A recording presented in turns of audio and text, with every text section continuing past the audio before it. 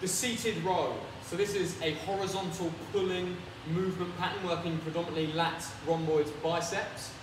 We want to set up either with a bench and handle set to uh, roughly belly button level, or you can do this on the floor with your feet anchored on a step instead of the bench. Um, and again, the handle, the attachment is going to be at belly button level.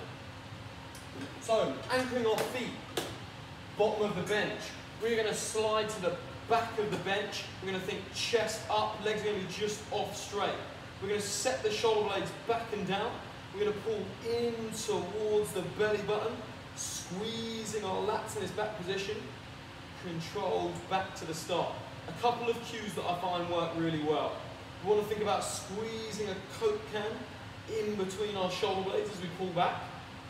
And the engaging of the lats, I quite like imagining that there are some oranges in my armpits and I'm trying to squeeze the juice out of them as I pull. Couple of errors to look for with this one, again, same as all horizontal push pulling movements.